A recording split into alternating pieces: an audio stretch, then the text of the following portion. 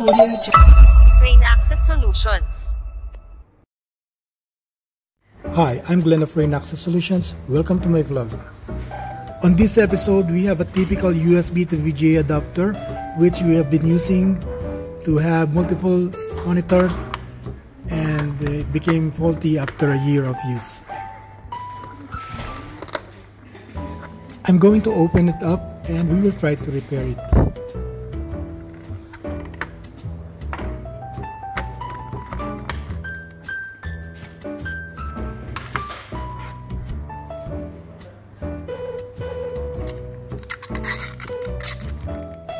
Podcast.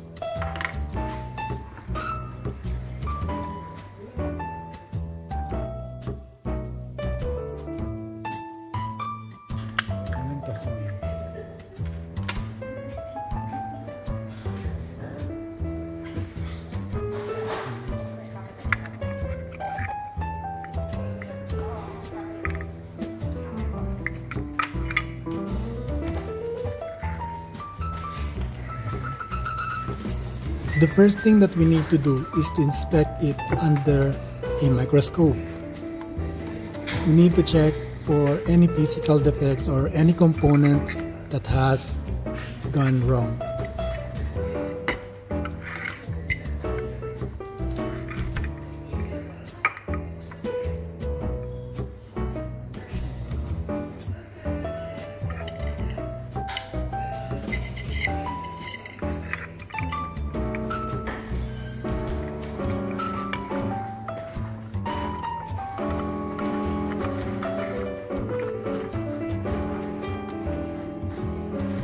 So for starters, I always try and find any burnt capacitors, burnt um, uh, resistors, or any signs of burning in the um, logic board.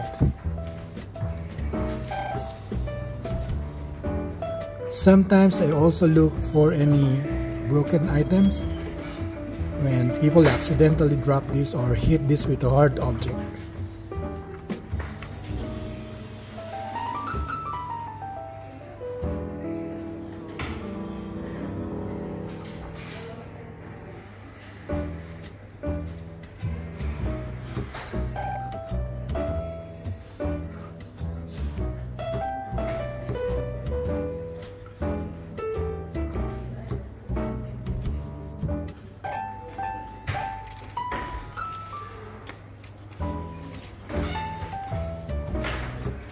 Sometimes it also helps to check for any loose arms.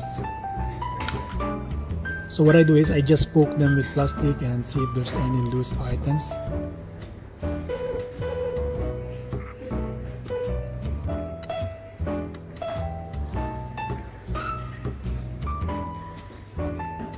If I can't find any defect from physical inspection, then I will go to my um, multimeter tester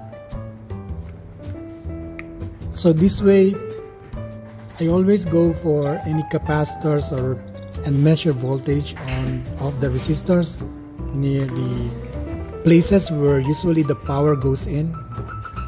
As you can see and heard my multimeter just beeped. It means that there's a shortage on the components that I just tested. Now I'm going to use my Seek thermal camera to verify which component is getting hot and are shorted. Now I am injecting 1 volt to the logic board and as you can see there are 3 components that are getting hot. The first one on the right is normal due to the uh, components on the middle and on the top left being shorted.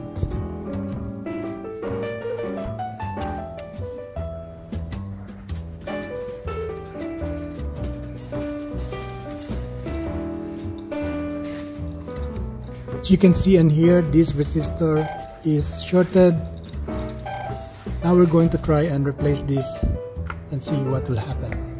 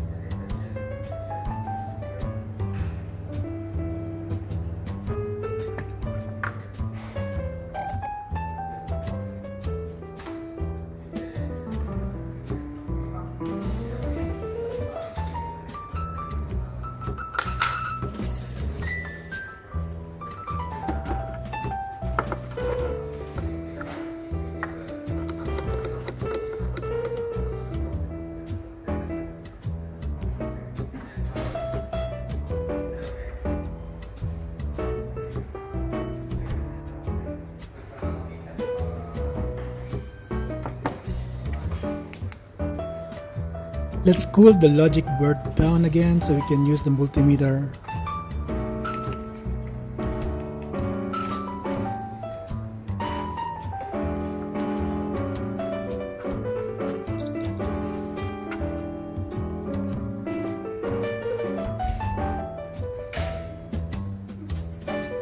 As you can see the short is gone for the capacitors and the resistor. Now we're just going to replace these two components then we will test it.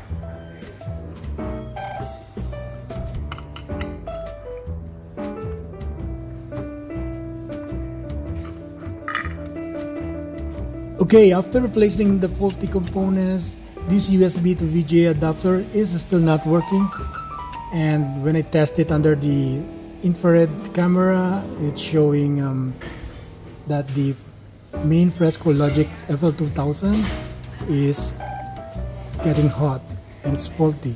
So now I'm going to plug the USB uh, to my Kaisi 1505TD power supply and we will see and we will demonstrate why uh, this device is still not working despite replacing all those uh, faulty components.